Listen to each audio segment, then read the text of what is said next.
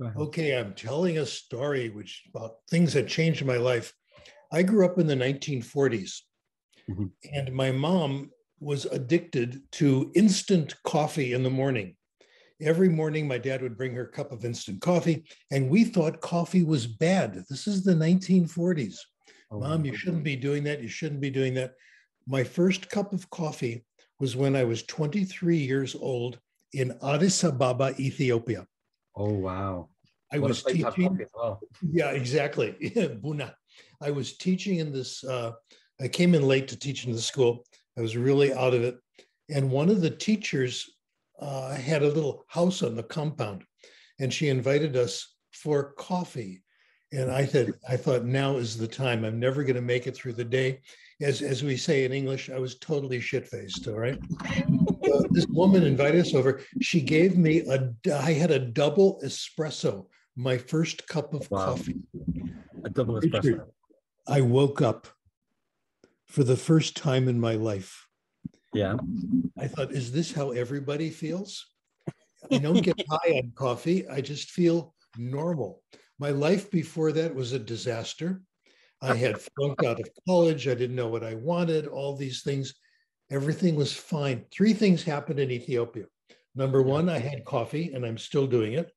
Okay. And the sequel to that is when I came back, I took my mother to Starbucks uh-huh. and gave her all the coffee she wanted. I said, Mom, you can have all you want. Have a cappuccino. It was wonderful. Okay. I felt so good. Uh, I feel there's a book in there somewhere. Coffee saved my life. It sure did. uh, so, two other things happened. Uh, one of the teachers in the school I was at is now my wife. We've still been, we're still married 56 years and wow. we're doing great. Okay. It's wonderful. That's amazing. Yeah, it really works. And also, I learned to speak Amharic. Okay. That's no mean feat. and that, that really helped. But Tam Taruno, Amharic. And I had a conversation. I promised you I would tell you about this. We were invited to meet the Emperor of Ethiopia, Haile Selassie. Right. And this was years ago. And I was already, I had this little speech prepared in Amharic. He answered me in English oh no, the problem we all have. so that's my introduction. I'm still drinking coffee, still doing languages, still married. All those things are great. All, all of those things are absolutely wonderful. Um, so, I mean, listen, Stephen, it is amazing to have you with us for the Polyglot Conference Global. I'm really, really pleased that you made it and very happy that you said yes to my invitation to join us because um, I love your stories. I love your wisdom and your experience. And I'm not the only one because I spent a room.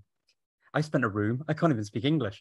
I spent a weekend in a room in London with a group of people, and it was at the Memrise offices with the Memrise team.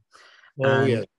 ben, one of the CEOs of Memrise, he mentioned your name possibly about 50 times, but I wasn't counting. I lost track after 50 times. Really? He, he referenced you so much. And of course, we all did. We were all talking about you because you're, you're the talk of the town, of course, any town. Um, so it's really, really nice to have you here after talking about you so much last week, last weekend in London. Uh, so I feel highly honored.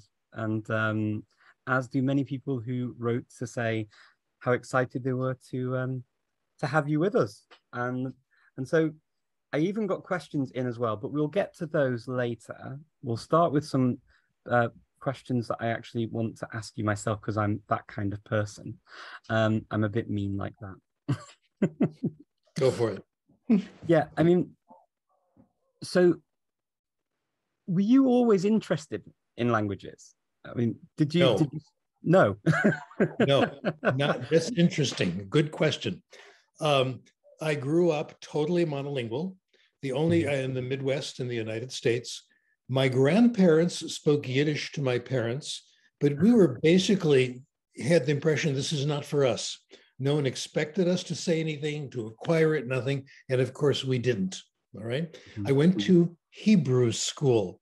Oy, Veizmir. It was awful. It was learning the alphabet over and over again and a few prayers. I remembered absolutely nothing. It was total and complete torture. I took French in high school because my favorite aunt, who was very influential, uh, liked French. So I, will be like her. I've been very lucky with women in my life. She's one of them. It's been amazing. Anyway, uh, I took French in high school, and at, after two years, the instructor said, "Very nice man." He said, "You know, I'm going to give you a passing grade, but you don't deserve it. I've looked at your record, and I don't want to see a failure in French. You'll never get into college. Just don't tell anybody about this, and don't ever take French again at this school." of course, I agreed. So the change happened. Again, the women in my life, my mother oh, I can't thank her enough, all the good things. She decided in between my first two years of college that I should go on what's called a youth hostel bicycle tour, where you meet up with about 10 other kids your age and you go on a bike ride. We went down the Rhine Valley, all right? mm-hmm. It was a lot of fun. Uh, good kids, wonderful. There are languages around, but I, you know, went through Germany and all. I didn't pay much attention. Wasn't for me. The last day, we were at a youth hostel in Switzerland. It changed my life. Uh-huh. There was a party. I sat near a young man who was effortlessly and beautifully speaking German to a couple of people, speaking French to a couple of people, and doing pretty well with English uh, talking to us. And I decided I want to be like him. Wow. I decided at that moment, being a polyglot what you call a serial polyglot expression I just picked up from one of your interviews. Very interesting. Good idea. I wanted to be a polyglot. It wasn't that I want to learn to speak French, yeah. it's languages. Mm-hmm. Then the tour was over, and I talked to our director, the guy who's a little bit older than we were, he's like 24. And he said, Go to Paris and enroll at the Alliance Francaise. And I did that. I got on a train, three weeks in Paris uh, all grammar, but it had lots, it was all in French, and I had, had been exposed to the grammar. I made a lot of progress. That was the beginning. And I decided then I was going to be a polyglot. It wasn't French, it wasn't German, it wasn't any particular language. And I discovered that people like us are very rare. Mm-hmm. It's a small, small group. And I'm always surprised when I meet uh, anyone who has the, the same kind of orientation.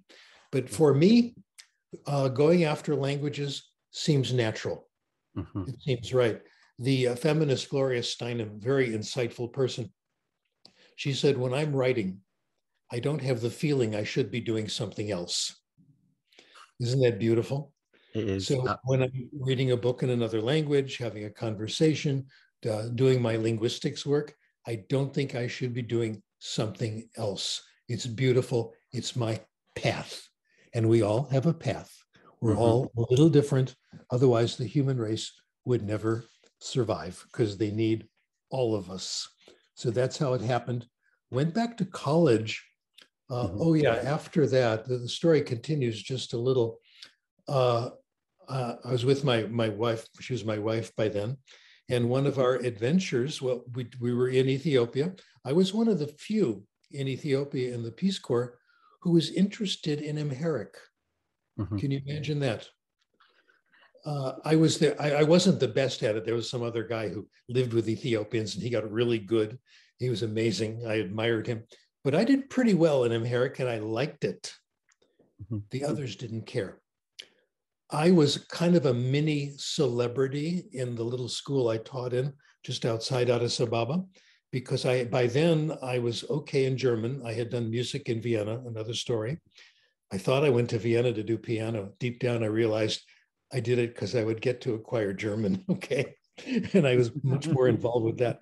I did okay with piano. But, uh, and I was I was kind of a mini celebrity because I could converse in French and converse in German, and I really mm-hmm. loved Amharic, and people thought that was very interesting. My roommate, housemate, I got in touch with him about this a few days ago, and I wrote him. I said, Frank, I haven't talked to you in all these years, but I want to thank you for something. You pointed. He and I were very different. We got along, but he was totally different personality. Mm-hmm. He says, "You said, Steve, I see you're interested in languages." Why don't you do something about that for a profession? I had never thought of that. that kind of opened the door. Okay. So that worked. And that's how it all happened. Uh, after Ethiopia, my wife and I went uh, back to Los Angeles, basically to avoid getting into the army and going to Vietnam. Mm-hmm. And uh, I got into a teacher training program for English. I loved it. It was linguistics and language acquisition. The mm-hmm. courses were about phonological systems, uh, Chomsky and grammar, which I still absolutely love, one of my mm-hmm. absolute heroes. Uh, and people were interested in language. We could talk about it. First time that it ever happened to me. And for the first time, I was a pretty good student in school and connected. So that's basically how it happened, uh, one at a time. I never decided to go out and get a language. Uh, what happened was I was sent somewhere and I took advantage hmm. of what was there. And I was surprised that nobody else did. And now I see how unusual you are and I am. They talk about instrumental motivation, you know, to work at a job or study in a country, or integrative because you feel a bond with a culture. In our case, it's a language that's good enough. Yeah. Well, it, it is. It's that kind of the need. I, I mean, you, you obviously mentioned that need as well. But one thing I want to go back on actually is you, you, you talked about the term polyglot and and you said we polyglots. And I'm interested in that because I mean I, I would describe you as such myself. The term is a bit of a weird term in English. It's one of those normal terms in certain languages, but in English it's a weird term. And the term polyglots, and I want I want your thoughts on this actually is the same really as multilingual. It's just its different roots, Greek roots versus Latin roots. For me, that meaning is not the same. Because for me, a multilingual is someone who just has multiple languages, and a polyglot is someone that goes after languages they don't necessarily need. And I don't right. I think that's not defined in a dictionary, but it's exactly. my interpretation now. Do you agree with me? And do you agree that you're a polyglot? You've been helpful in that uh, I, we, we, should continue this conversation and keep complimenting each other. This is good therapy for both of us. Uh, I read this morning an interview with you, and you said something I thought was practically unknown, but that's what we're talking about. We are ser- serial polyglots, and we're interested in any language. When I hear any language, I want to understand it. I want to acquire it. I want to speak it. It's like someone who has a, a sex problem who's promiscuous. okay. He's, oh, I've got to have her. She's beautiful. We have that problem with languages. We just fall in love with any language we hear. We're very unusual. In Ethiopia, I told you my friends weren't like this.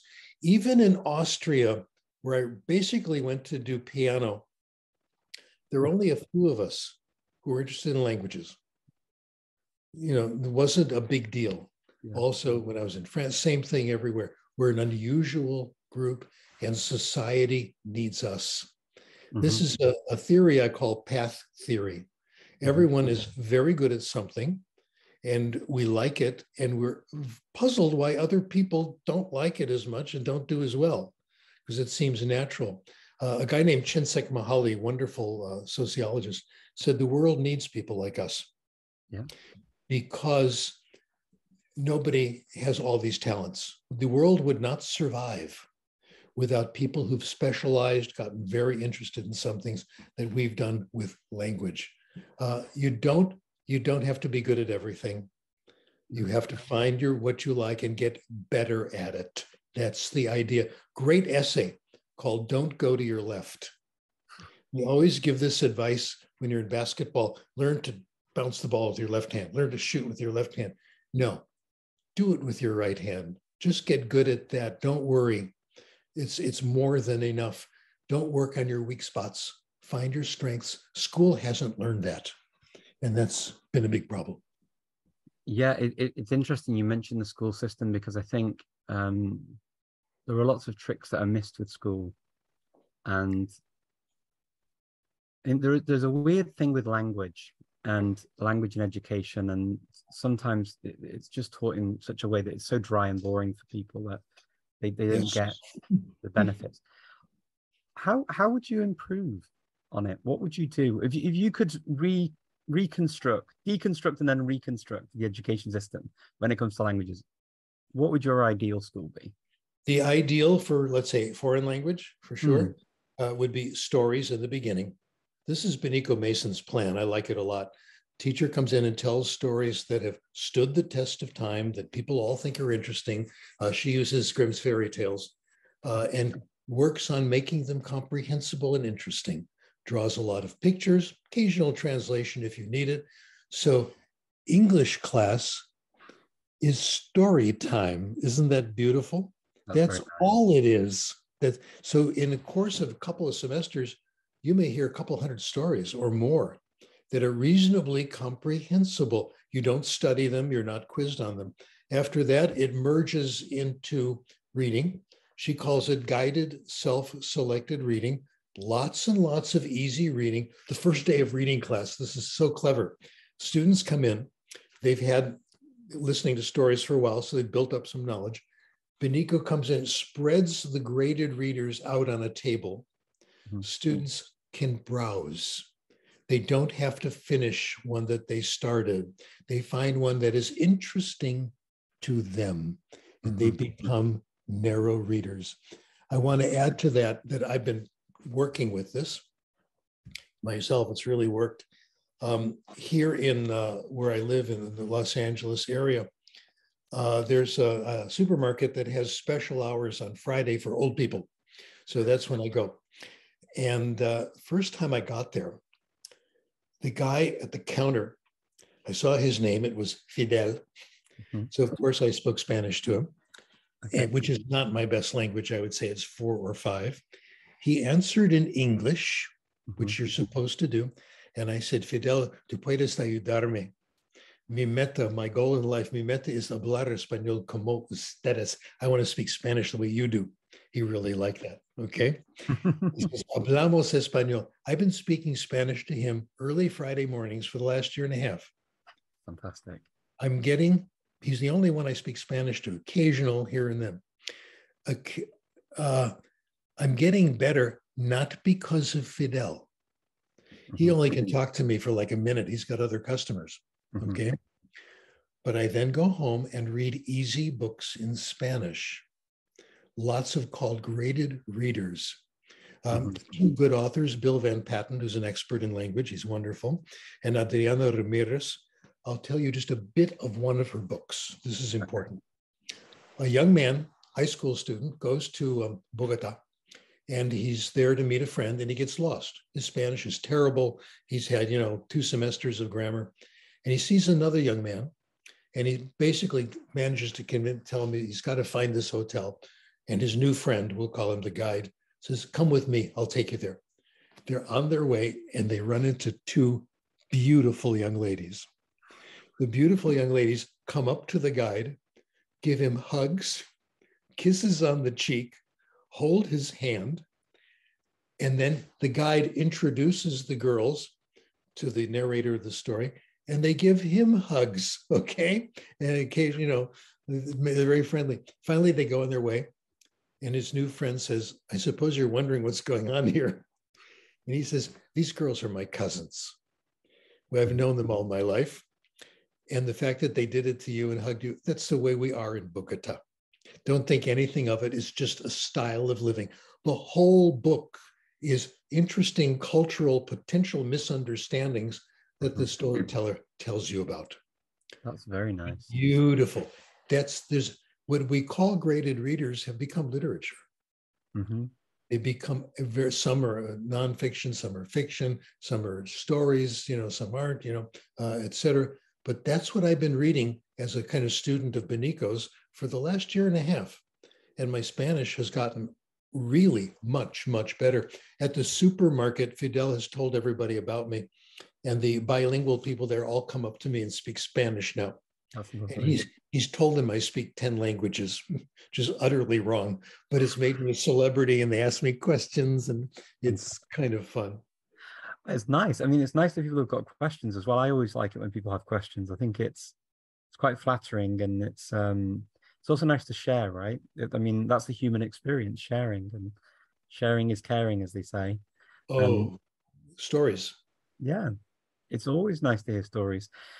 Tell me though, with with the education system, okay, let's say we've recon- we've reconstructed the school. What do we do with the people who have already graduated? Because one thing I've noticed whenever I, I I do courses quite often for languages as part of the process, and I know it's not entirely in in the realms of, of where where you are with this in the stories, but I find that they have their own narrative very often. The goods courses that I do, they have their own narratives to follow. But what I do notice is that a number of students are so ingrained in that system of I have to know right. all of the grammar and how it all works, and things that aren't really relevant. Like they'll ask a gazillion questions for lots of words that they really don't need. Right. How do you, Richard? What has happened here? Excuse me for interrupting. What has happened here is you have revealed where I have failed. No question. All these years, 40, 50 years of writing papers, giving lectures. Nobody knows about this stuff. There are reasons why, and there are things we can do about it. The first is, you know, change the courses, but it's not going to happen. I picked up the, uh, I won't mention any names of schools. I picked up a catalog from Santa Monica Community College, okay, and it had all the language classes. One of them said natural approach. I was co-author of the book on this and it was all grammar, um, etc. So I wrote a note to the supervisor, and she basically said, "Mind your own business." You know, you know nobody really knows about it. Nobody cares, um, etc. So this is slow. I have to identify the problems, then a solution. We're not just going to be just pessimistic. There are reasons why it hasn't worked. Uh, number one, if you where how are you going to find out? Well, it isn't very often you can get to you know, a top lecture, say from Jeff McQuillan or myself and all that, uh, things written about it are nearly incomprehensible and much too long, and I can barely understand them. Not only that, they're written in technical books, which are hideously expensive. Mm-hmm. What I have been trying to push is short papers in open access places that are free that are comprehensible, that tell, of course, lots of stories and mm-hmm. places you can go to try it out. And this is where I hope the internet is going to help us a lot more than we have, where people can get these things and get them for free. Sorry, memrise. Get it. Mm-hmm. I'm wondering actually, we were talking about graded readers. Maybe we need a graded reader version of these papers so that we can. I think you're right. Yes, I uh, Adriana Ramirez, a person I admire very much, has a little uh, discussion on YouTube about uh, her stories and all that. She does it in Spanish, and it's a little too hard for me. Yeah. I'm going to talk to her about this an introduction to language acquisition made comprehensible. Yeah. I think it is important that it's it's made comprehensible and and that people understand the logic behind it because very often what I find is people will struggle on with um, with things that they that are not comprehensible at all, and and then get lose motivation and be completely bored, and then give up. Of course. Um, or they will be so fixated on having to know certain words that they're used to getting to know. And I, I always say, look, it's it's fine to learn a word or something if you know you need it and you're going to repeat it again and again and again. But we don't need to learn 130 odd different countries. Um, if we only really have a you know sort of contact with three of them that we ever talk about in our lives. Yeah the cure is uh, don't look it up unless you really are curious. Yeah. don't try to remember it. Don't review it. Uh, i got that from a person i regard as my personal language therapist steve Kaufmann. Ah, he gives the nicest advice. He says when he was reading something and he looks up a word, by the time he gets back to the book, he's forgotten it. that really helped. Yeah, I mean, he's completely right. And and actually, one of the things about you know learning all these words that I notice as well, and I know it from my from my own experience of being on courses in at school and university and all that stuff, is people remember what they've forgotten, but they don't remember the contents. They just remember they've forgotten it. And yes. that is a huge motivation killer. Huge. The uh, research from the University of Illinois, very helpful to us.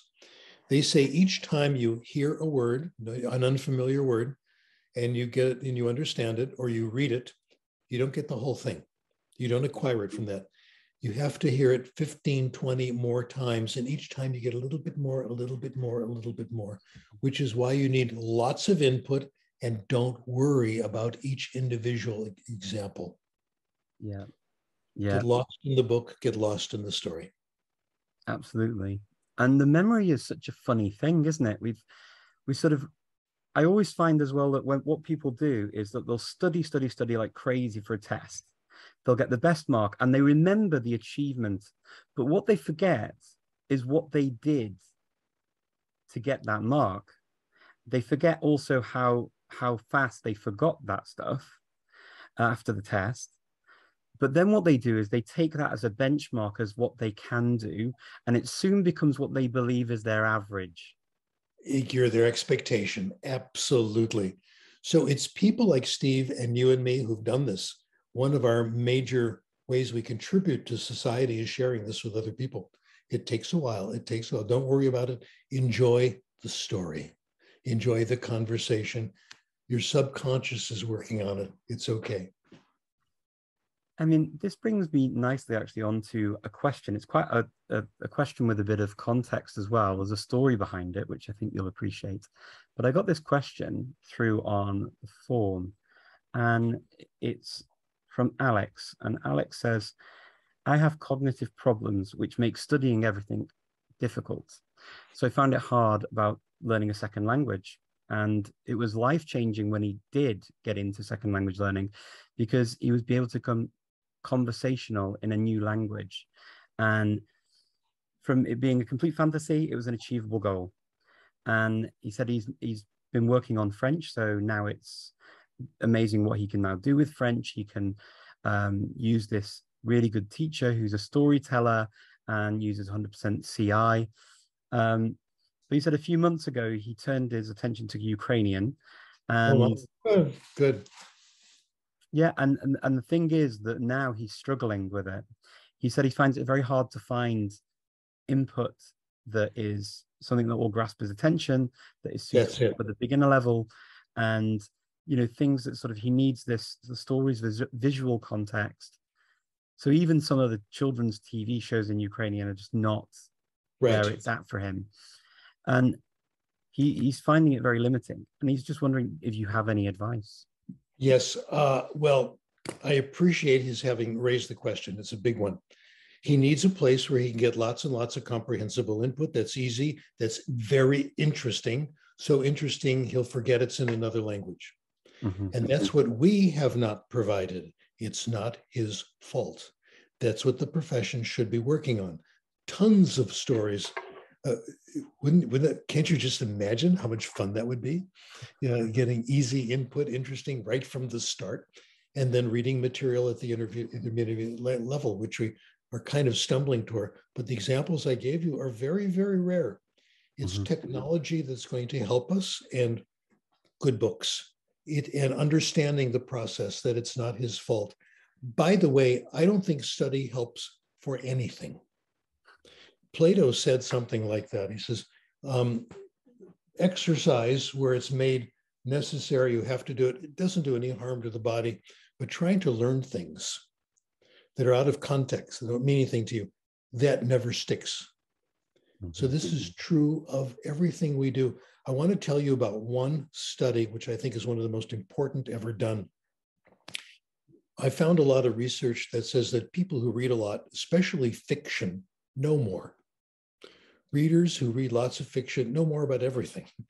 They know more about history, geography, science. It's because of the novels, all right? mm-hmm. And a guy named Keith Stanovich did a wonderful study on this.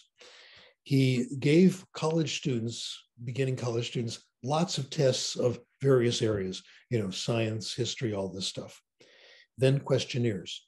The best predictor of knowing all this stuff on a wide variety of tests was your familiarity with popular literature uh, and movies, whether you've seen good movies, etc. Okay, uh, that was the best predictor.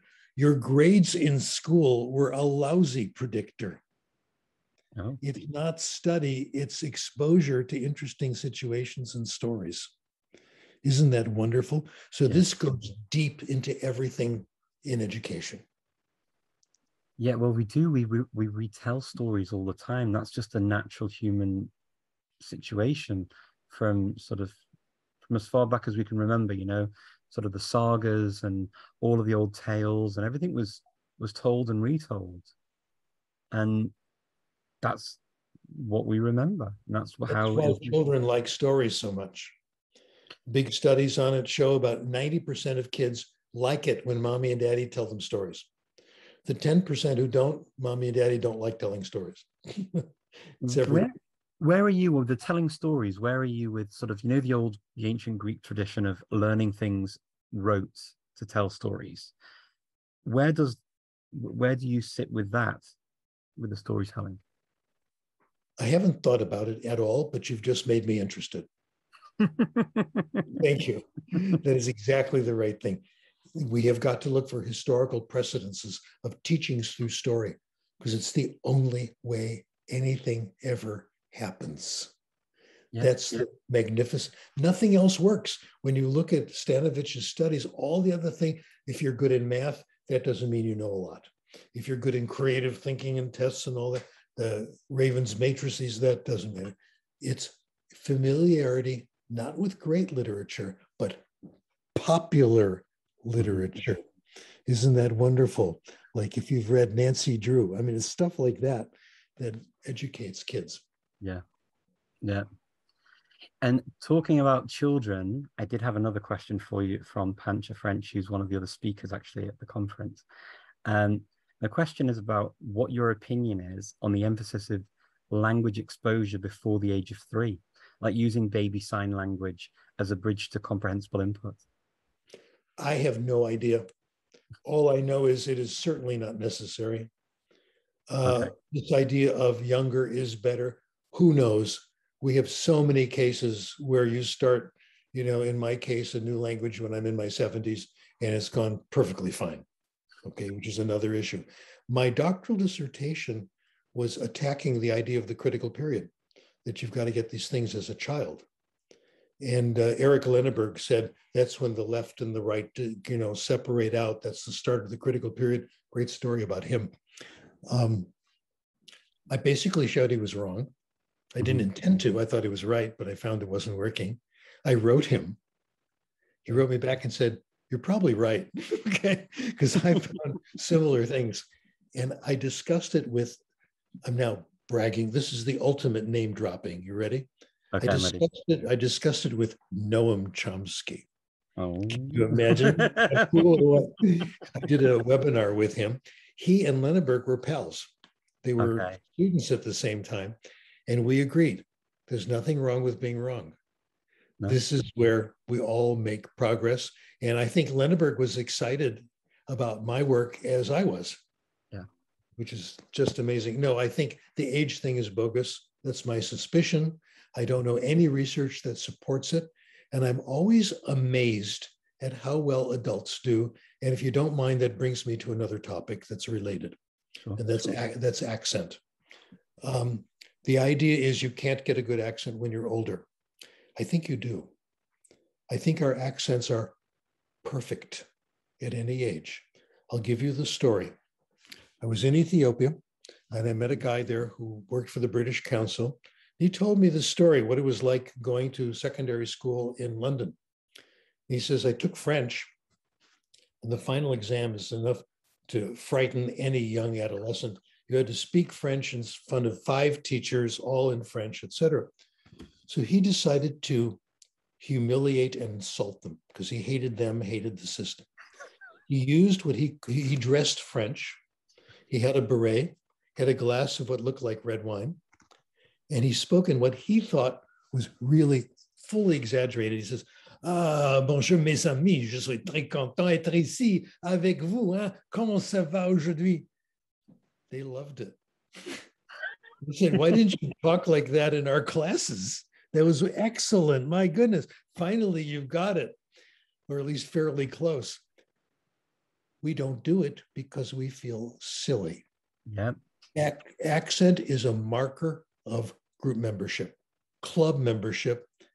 Peter Ustinov, as you know, is a fabulous actor.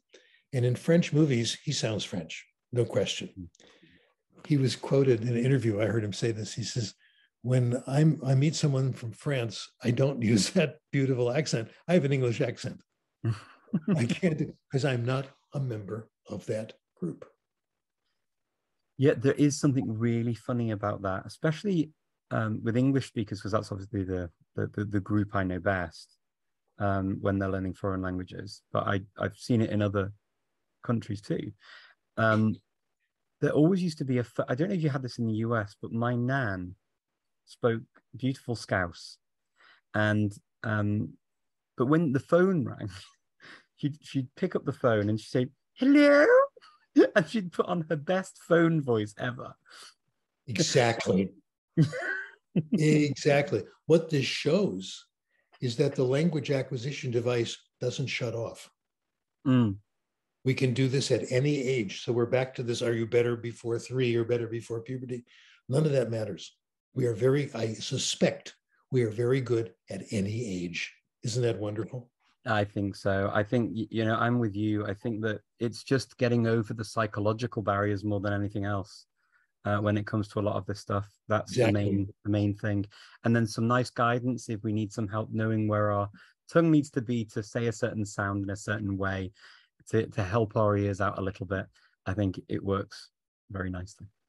yeah, absolutely, absolutely. And it really doesn't matter if we have our accent. Uh, people, how do you overcome this output filter? Well, you can try method acting, you know, and sound like someone. Who cares? Yeah, exactly. Not to worry about it myself in my life.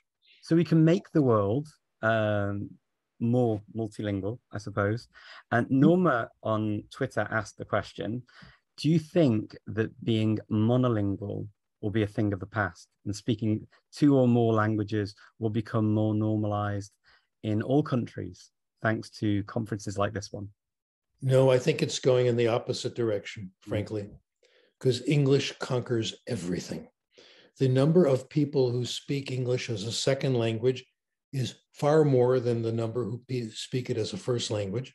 And we all have this, like the incident I had with Haile Selassie.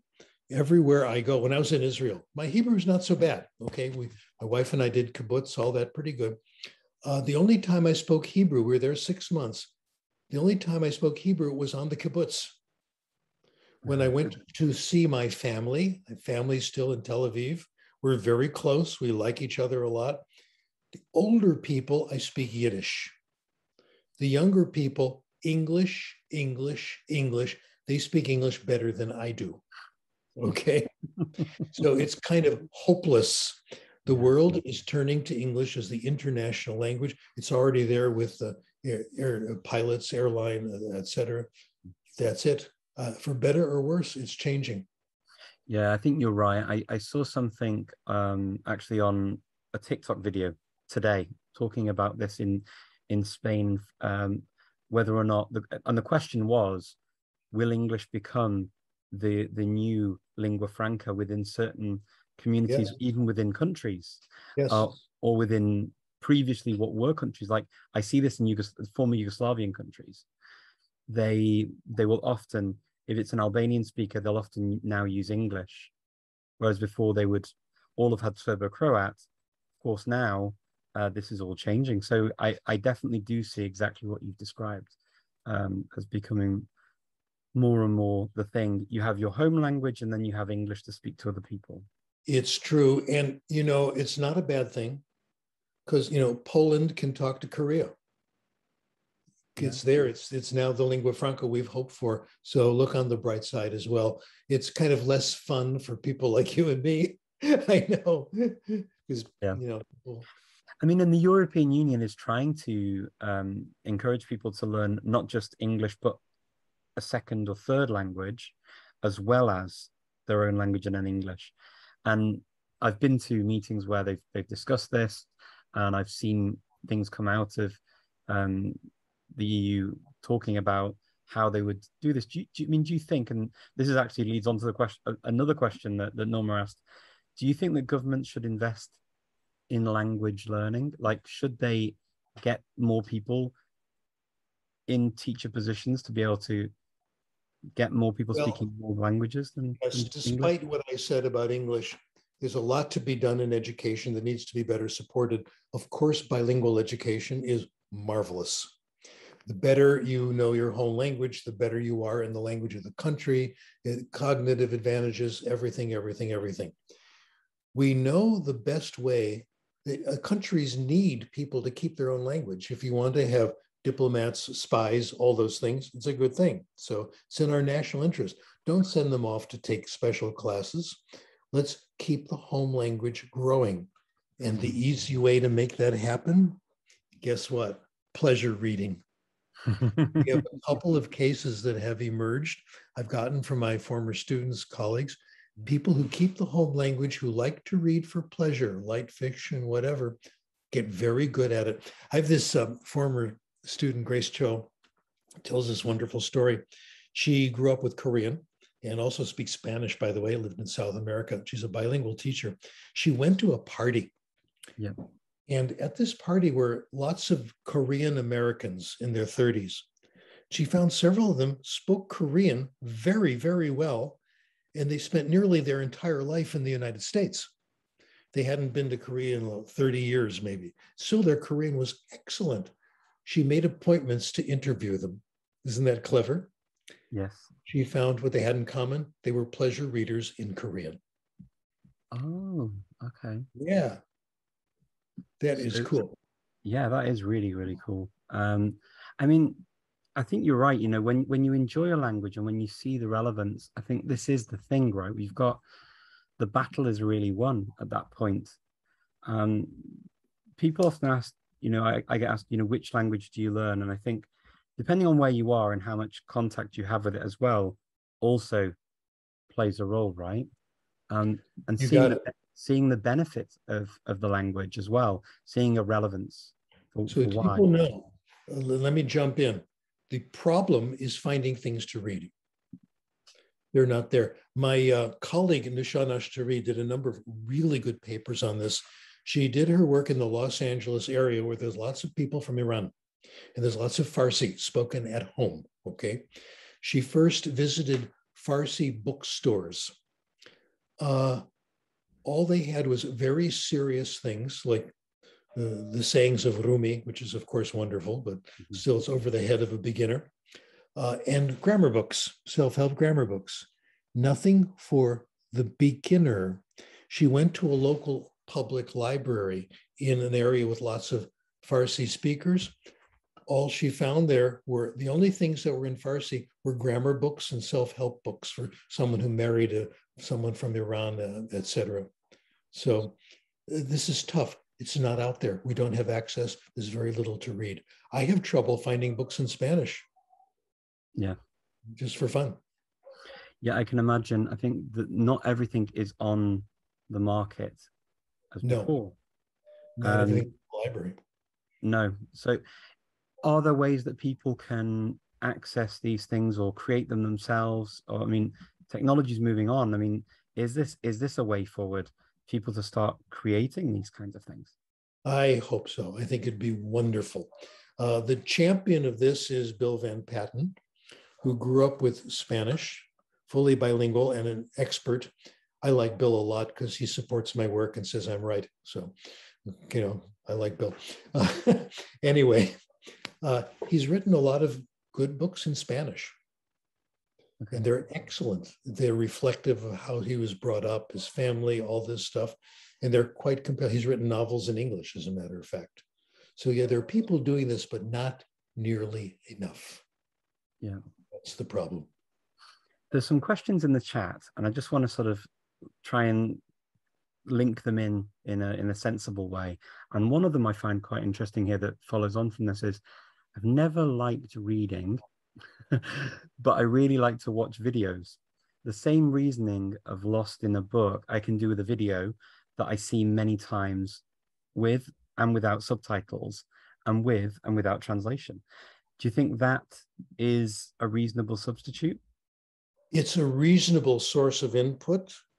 I think there are other places. I'll give you what I think the answer is, is with two words Mhm. comic books.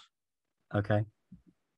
Uh, you are talking to the world's leading expert in comic book research and how it applies to literacy. The reason I can say that is I'm the only one who's ever investigated it. So I'm by default, the world's number one. And here's more bragging. This is this is at the level of, of meeting Noam Chomsky. Okay. Mhm. I had lunch with the inventor of Spider-Man, Stan Lee. He invited me. Is that cool or what? Well, finally, you have a little respect for me. Thank you. the original spider. The original spider. the original Stan. Here's how it happened and what I learned from Stan Lee. Mhm. Uh, I was teaching at my university, USC, at the time, and the comic book club invited Stan Lee. Now, I love comic books, always have. I've always been a comic book reader. It's another story. And I went to the lecture. It was brilliant. As you can imagine, if you've seen him in the cameos in the movies, that's what he's like very open, easy. And I asked a question from the floor. I said, You know, uh, Peter Parker is the uh, real life character of Spider Man, real person. And uh, I said, When is Peter Parker going to go to graduate school? Because he's an inventor, he's invented the web shooters, all this stuff.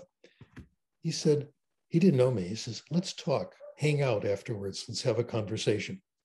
We had a brief conversation. He invited me to lunch. Wow, this is great. We had lunch, it was magnificent. I brought him all the notes uh, that I had on what it would be like to be a graduate student and what Peter Parker would have to do. Could you be a teaching assistant, a research assistant, et cetera? He took them all, and we had this amazing conversation. The breakthrough with Marvel Comics is that it's about superheroes with problems Mhm. and Spider-Man has problems. Okay. he said, Who do you think is my favorite superhero? I said, I don't know. He said, The Silver Surfer. Because this guy has the most built-in problems of any character in comic books. The bad guys have bossed him around. They're going to kill your uncle if you don't do this. You know, oh gosh. So he has all these hard decisions, um, etc.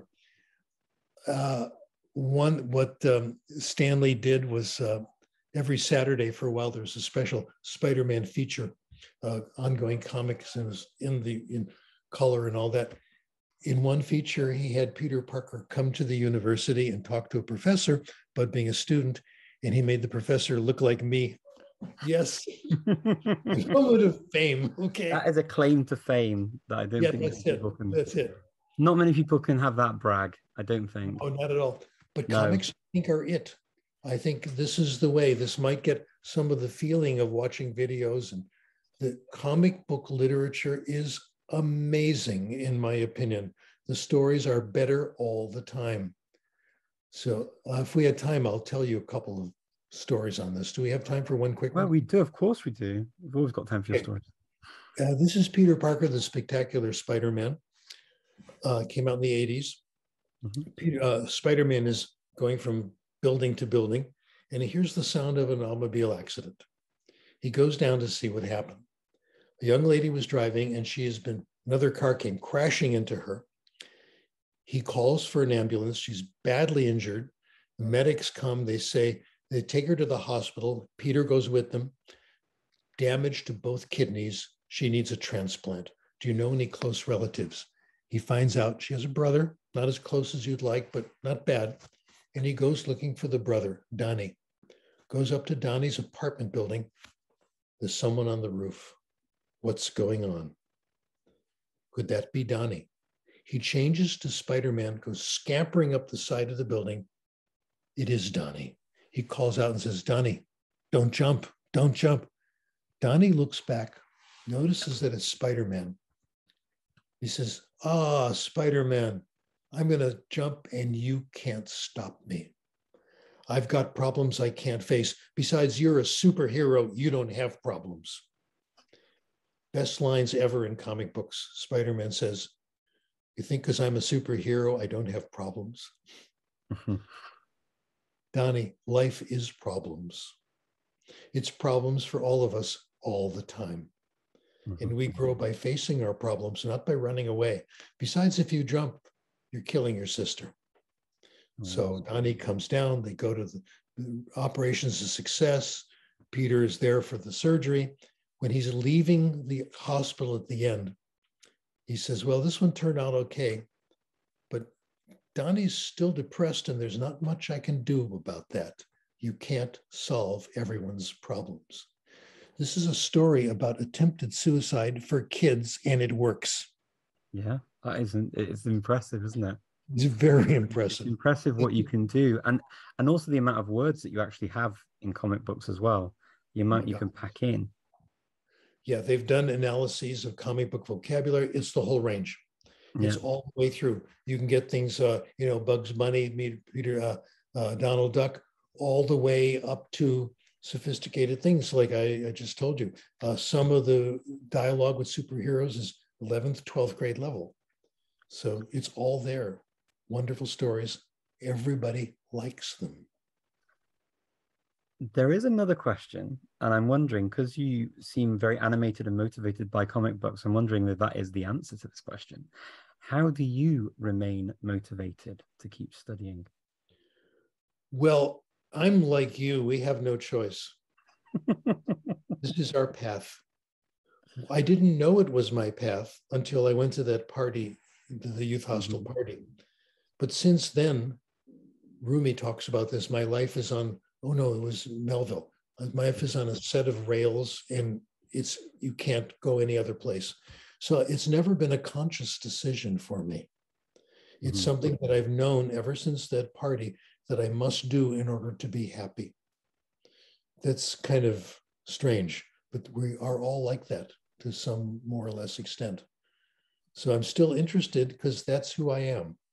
Mhm. I've been fascinated by comics my whole life and fascinated by language acquisition without realizing ever since I allowed my opened myself up to it. And I'm still interested. God, my God, I'm 81 years old. I know I look 78, but still, it's still, it's still exciting. I Yeah. still can't wait to look at the next book. Guy came over this morning, do some work on the house. I spoke Spanish to him. It was so much fun. Yeah. it was great. it. It, Yes. it, it's that, isn't it? It's finding the joy in every situation. I think you and I definitely have that same Yeah. drive for this. It's- There are some things I don't like. Okay. are some things I'm not good at, and I don't like them. Which is, you know, I wish it weren't so, but I'm not good at fixing things, you know, and home repair and stuff like that. All this and things that bore me. We're all different. Well, it looks like we've got more in common than I first thought. Ah, gotcha. yeah, uh, that one of one of the main complaints I get at home is you remember all these languages, but you can never remember where the car keys are or how to Me fix too, Absolutely. Absolutely. I should also explain who I am. I call myself a junior polyglot, which is perfect for me Okay. because the real issue is not just languages, but language acquisition and language teaching. Mhm. I, I've had enough experience, and I'm getting more all the time, as a polyglot to make my work as an expert in language acquisition much, much better. It helps my research, it helps my theory. I have to know five, six, seven, whatever languages I know, but I'm not, I don't know, you know, 20 like you do, okay? Because that's not part of my path. Our paths overlap, and you have interest in the theory as well but Mhm. you're not writing articles for journals on theories and going through statistics. And that's what I like to do. And that is a really interesting thing because there are a couple of questions in the chat, and one of them is about how they can get hold of the things that you've written and read things that you've done. And I know this is a big thing for you that you have them on a website.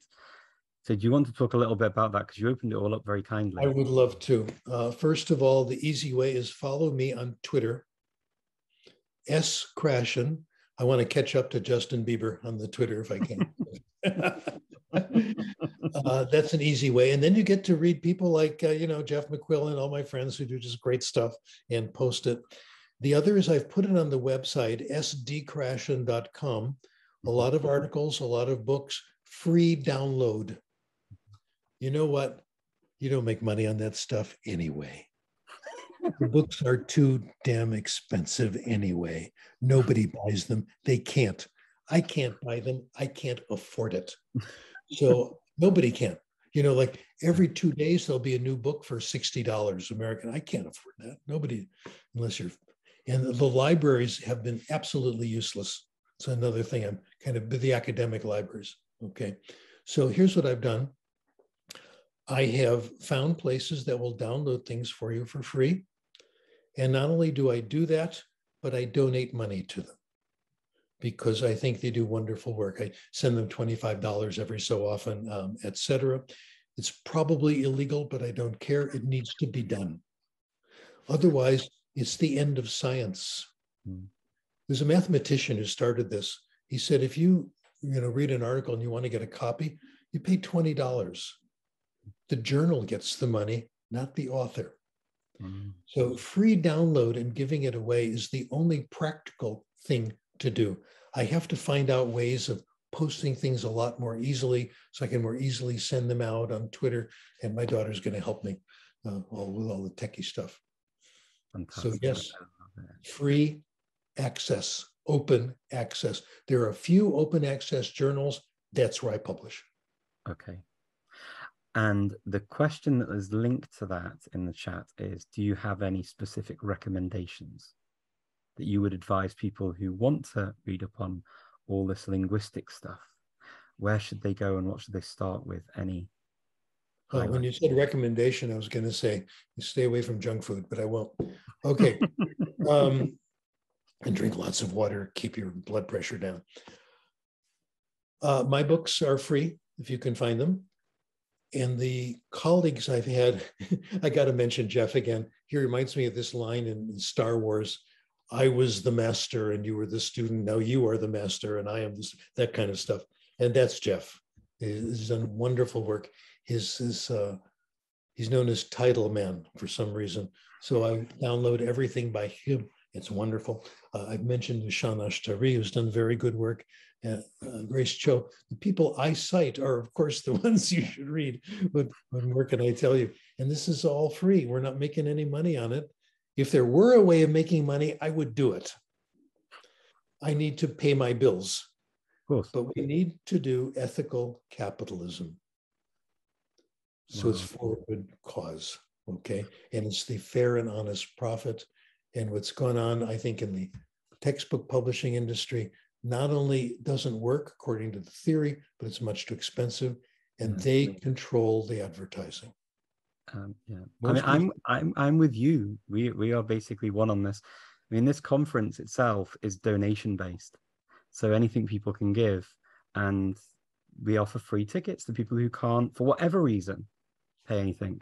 Because I'd rather people have the information, the knowledge, and the contact with each other than not.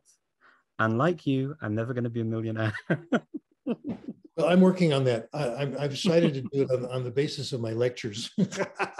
well, you might be. You might beat me to it, no, but I'm. I'm, I'll tell I'm you what not. I'm. I'm going to be as, as poor as a church mouse until until the day well, I die. Keep pushing your reputation and have you come and speak 20 languages all in a row like you do. That's so neat. Uh, anyway, as far as lectures are concerned, when the pandemic started, I volunteered to give free webinars which was a good idea. I got lots of invitations. I gave like 70 of them in the first year.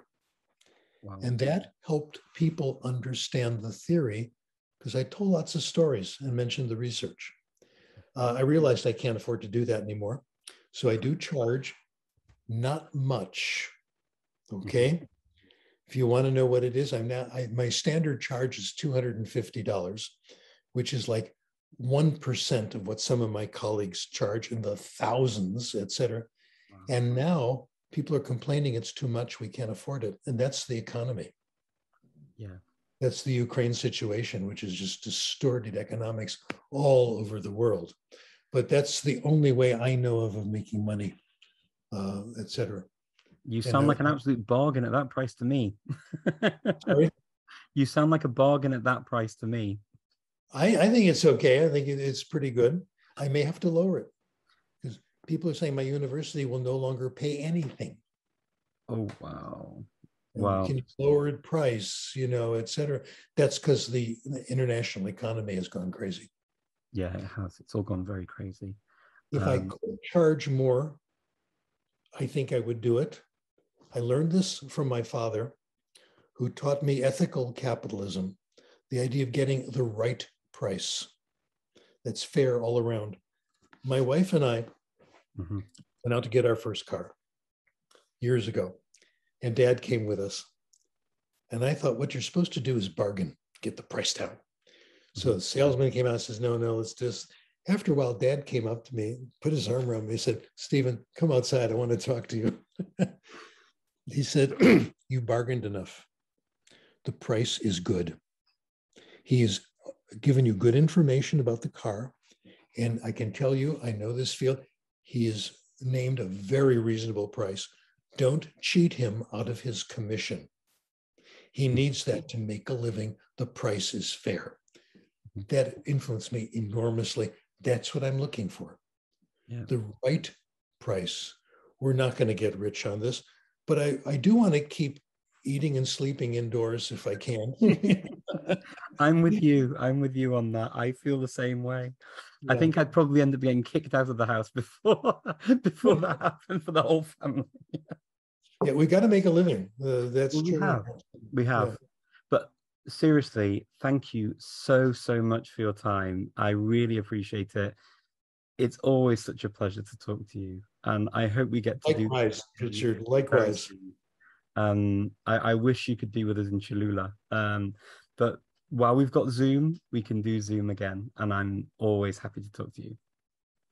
Great pleasure. I still absolutely admire you and I appreciate your generosity and openness on all these issues. It's been great. You've Love it. helped a lot of people this way. Keep up the good work. Thank you. Take care, and I will see you soon.